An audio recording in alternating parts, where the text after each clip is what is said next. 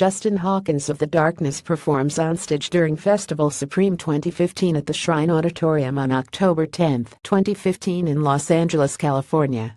Photo by Mike Windle/Getty Images David Leavesley 6 hours Wednesday, September 27, 2017 The Darkness Yes you heard, the band that did I Believe in a Thing Called Love are releasing their fifth album.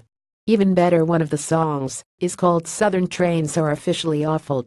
Southern Rail doesn't get an exact name check in the song, but the chorus is still a pretty damning anthem that will be perfect for commuters when their train is cancelled for the third time. It's a journey into pure despair. There are fing assholes everywhere. I can smell the sad S in the air. Fu, Southern trains, we're not getting anywhere. Southern Rail's PR disaster. Southern Rail has earned a toxic reputation after a series of strikes, cancelled services, and a revised timetable made life difficult for commuters with some saying the train operator had ruined my life.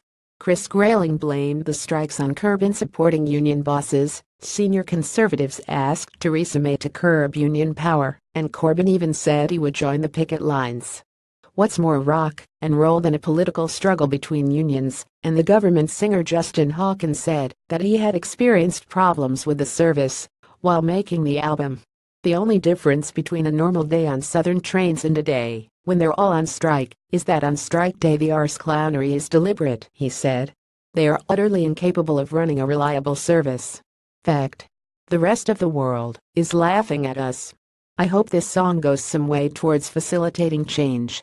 Inustpsinus.co.uk